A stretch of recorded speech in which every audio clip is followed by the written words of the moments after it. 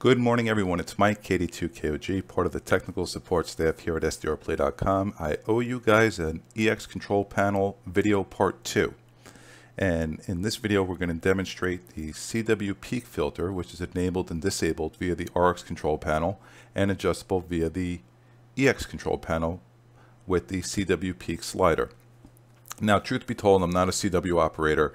I cannot decode CW uh, it's not really my thing, but hopefully this video is helpful for you if you are a CW operator and the peak filter should, from what I've what I've noticed it, it, enhances the the tone of the CW transmission and really makes it stand out and pop. So enough of me talking. Let's demonstrate this filter. Now I'm in the 20 meter band and there's a strong CW station right over here and I'm going to unmute it and let's play with the CW peak filter.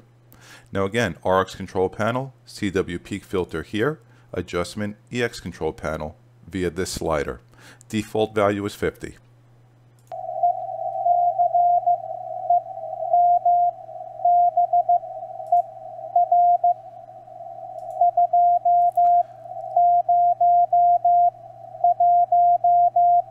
Okay, I'm going to enable the filter now.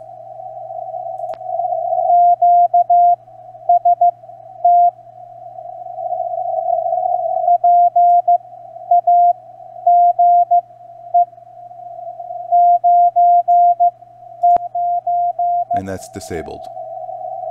And let's re-enable it.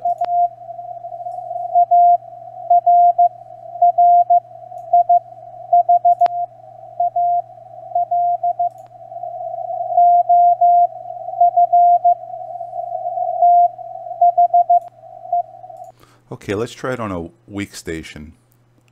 Uh, let's go a little further down the band. We'll zoom out a bit. And let's try it on this one.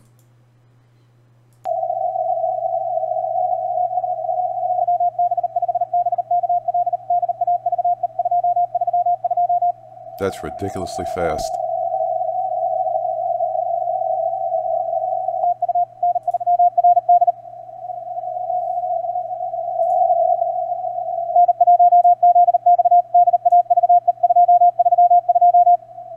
And let's disable it as soon as he keys up.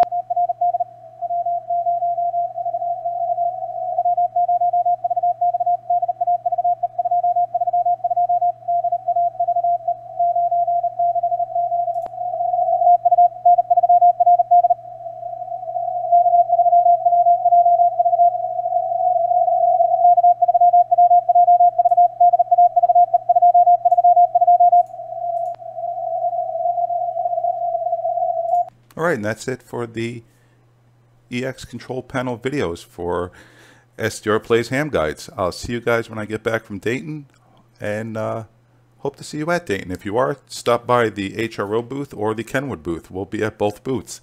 Warmest of 73, guys. See you in the next one.